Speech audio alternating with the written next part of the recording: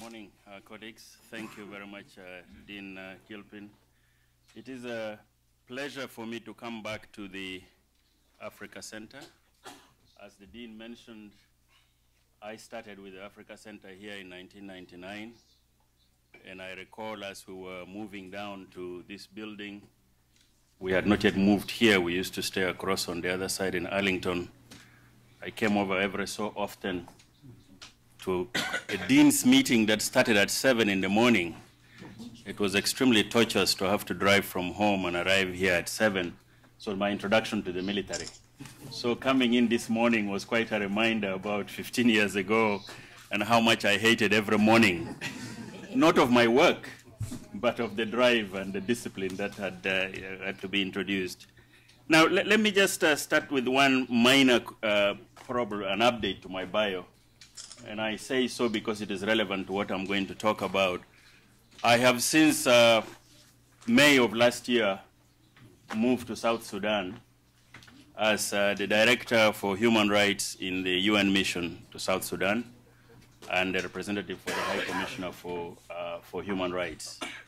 I moved to South Sudan at a very critical moment, somehow with a dream that I was going to go out there to make a contribution to state building. But as you know, the last six months, we've spent a great deal of time trying to sort out very fundamental issues about the collapse or potential collapse of a state. And so I think that some of the experience that South Sudan has gone through in the last six months is extremely pertinent to your discussion about security sector reform and the rule of law.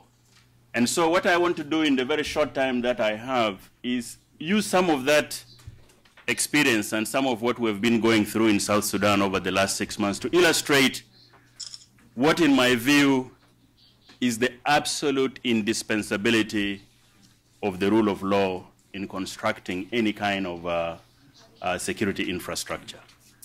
And I would argue that as you go through the process of security sector reform, if you don't ground your security sector in the rule of law, its sustainability will be questionable. Now, one might argue South Sudan is a unique case, it is different, but I would submit to you that in fact, if you reflect deeply enough, you will not see too much of a difference. Let me rephrase that. I think each one of us could very easily end up in the same situation that South Sudan is in. Let, let me backtrack a little bit here and say a few words about the idea of the rule of law. From very broadly, and I don't want to sound academic here, I just want to give you some very key parameters to define our conversation. The rule of law is the idea that government authority and all our actions should be grounded in some previous, previously established law. In other words, that every single thing that a state does, and a state would include obviously its security infrastructure, should be grounded in law.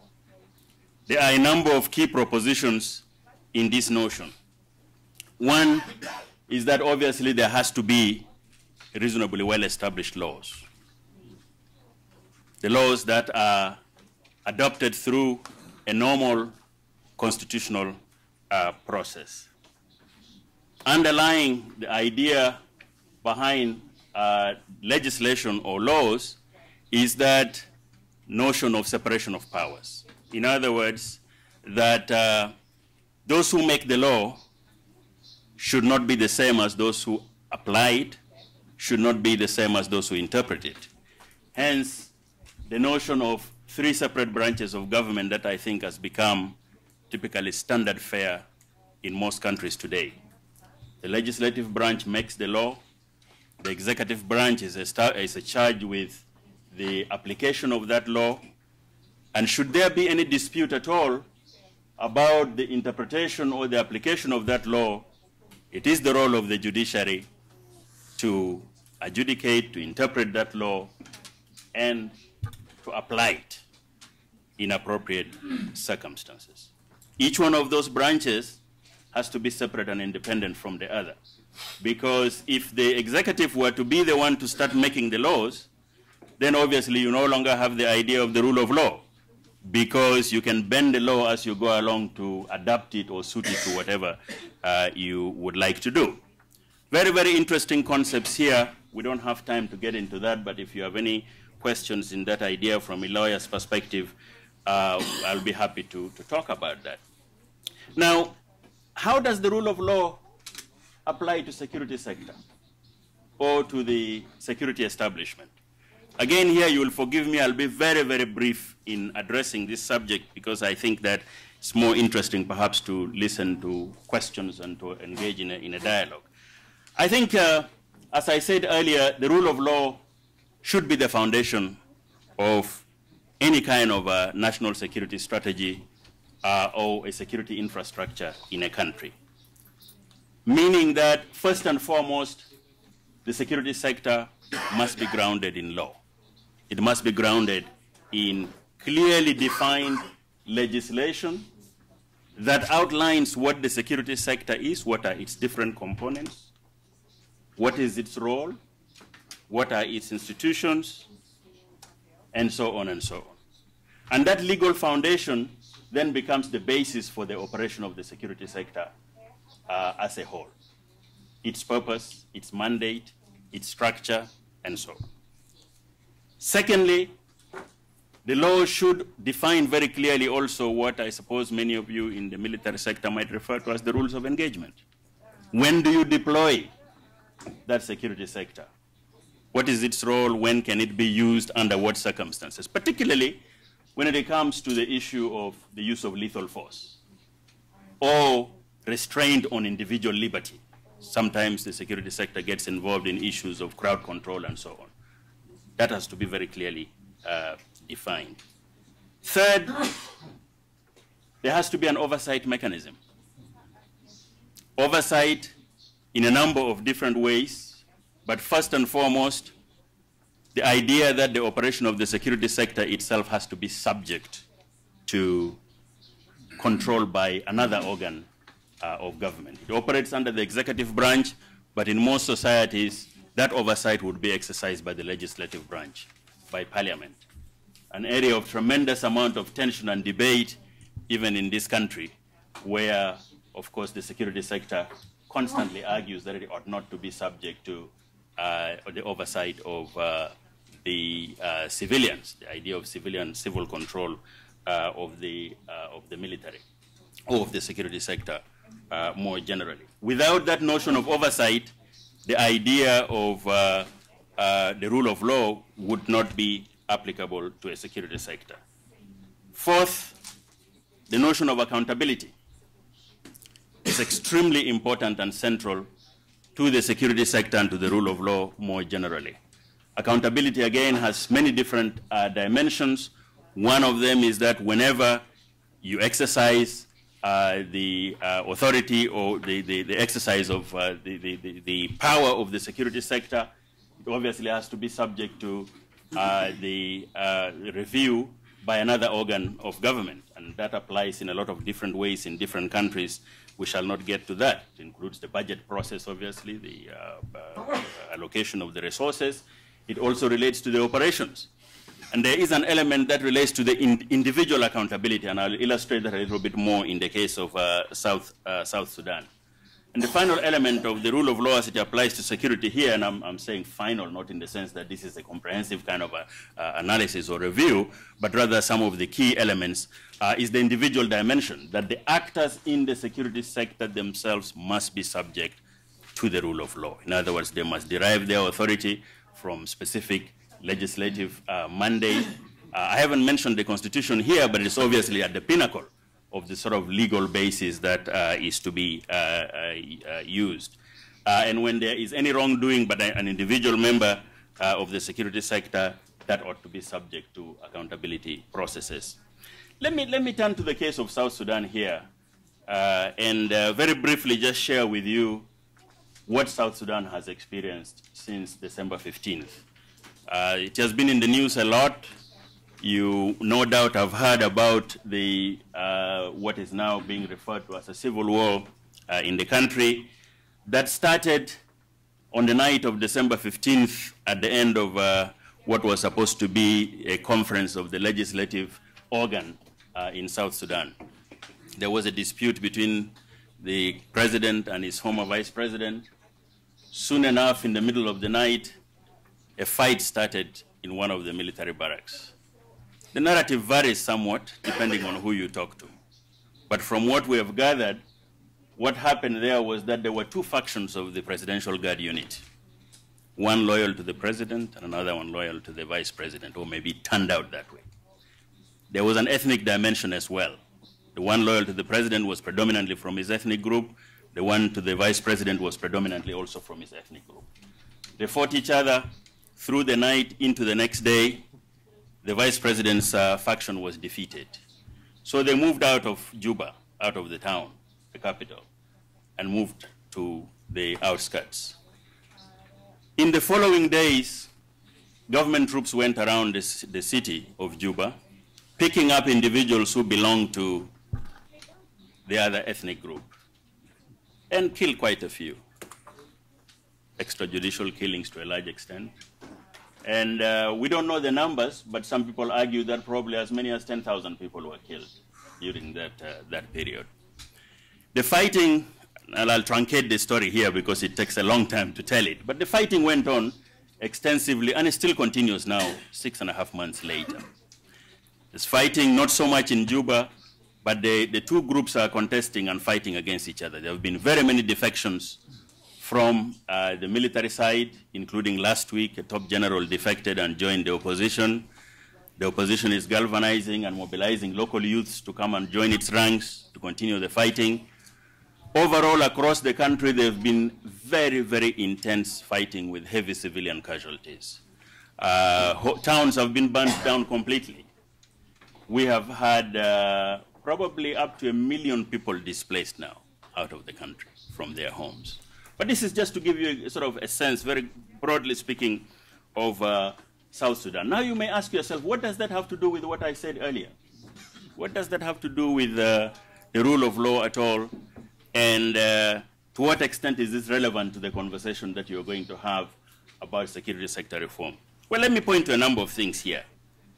Number one, I think there was a fundamental issue with the legal basis and the framework of the security sector overall. South Sudan is new, as you know. They got independence on July 9th, 2011. They were still in the process of working out the sort of the legal basis. Their army was constituted mainly of people who were fighting in the bush wars, and they were fighting, their allegiances were to individual commanders, individual uh, uh, military leaders. The notion of constituting them into a national security infrastructure with very key uh, instructions and very clear directions was not yet well uh, established. Secondly, very clearly as the things unfolded, it was evident that the loyalty of the security sector was more to the individuals who were leading the country rather than to a constitution or to a country. I think a lesson there, a very fundamental lesson to learn, obviously, is the critical importance of having a national security force whose loyalty is to the established institutions of a country, more fundamentally to the Constitution and to the people, as opposed to one group or uh, the other. Third, the very notion of the operation of the security sector itself. Now, some people argue that there was a breakdown, that there was a breakdown in chain of command, and uh, during two or three days of absolute chaos, whatever was established in place broke down. But I think that begs the question.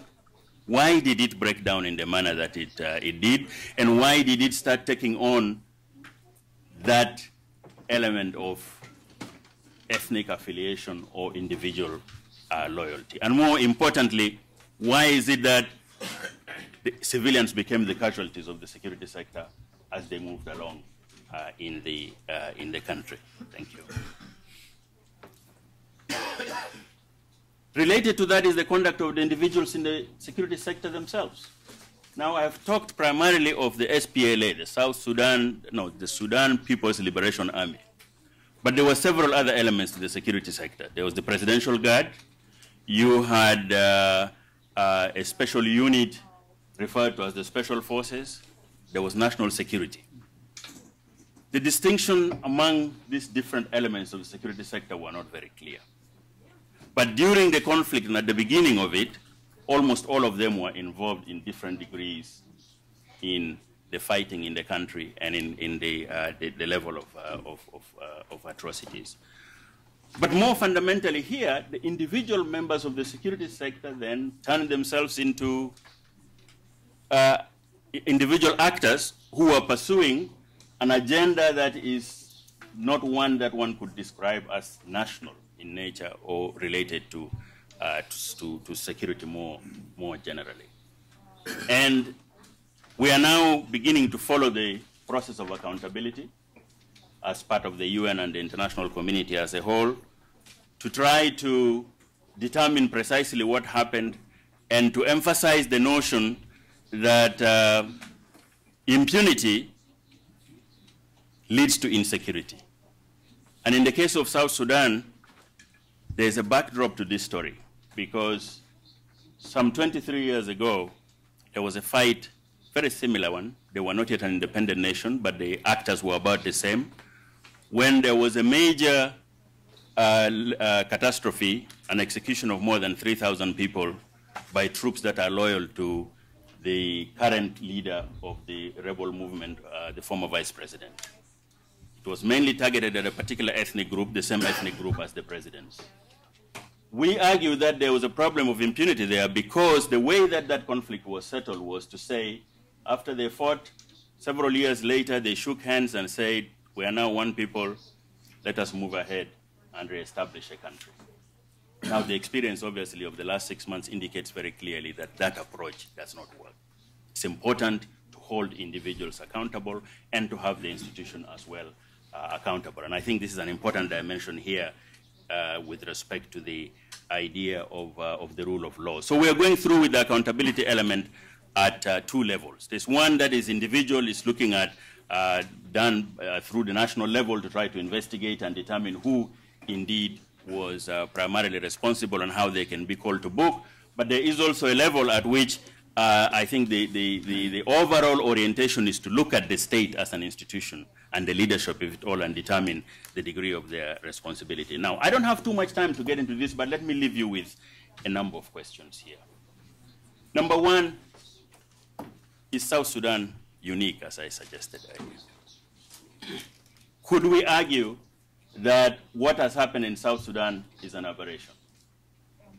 I think if you pause back to the history of Africa over the last few years, it might be interesting to see how uh, we come out on those uh, different elements. Secondly, had there been a well-established democratic establishment in the country with institutions, would we have ended up with the kind of result that South Sudan ended up with?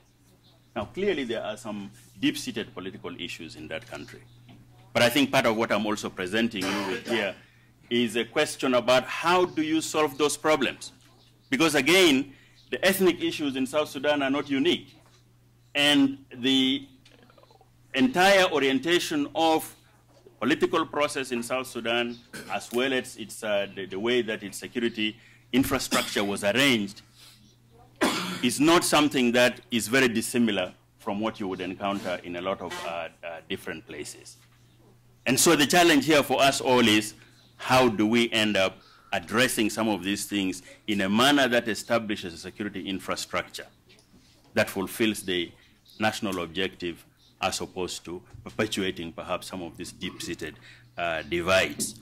In uh, just a few final words, right now, uh, as you know, there is a peace conference that is going on in Addis Ababa.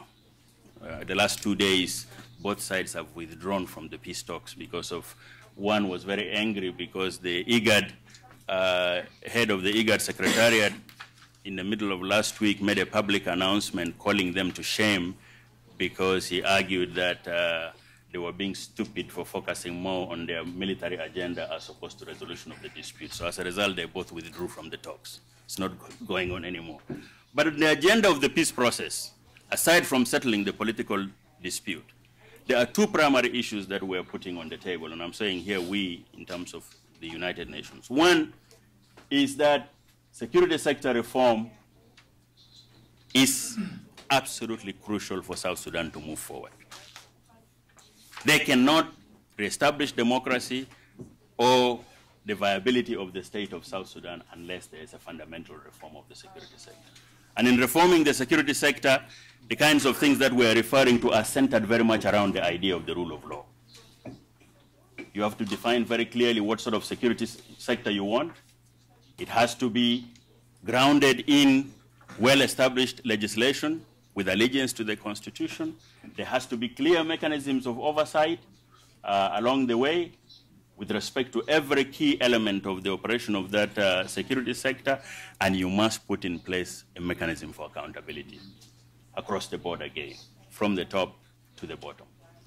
The second thing that we're trying to address here is the issue of accountability, and I've already talked a lot about that, but I'm saying it very briefly here. The idea here is that accountability has to look, be looked at again from two perspectives. Number one, what has happened already?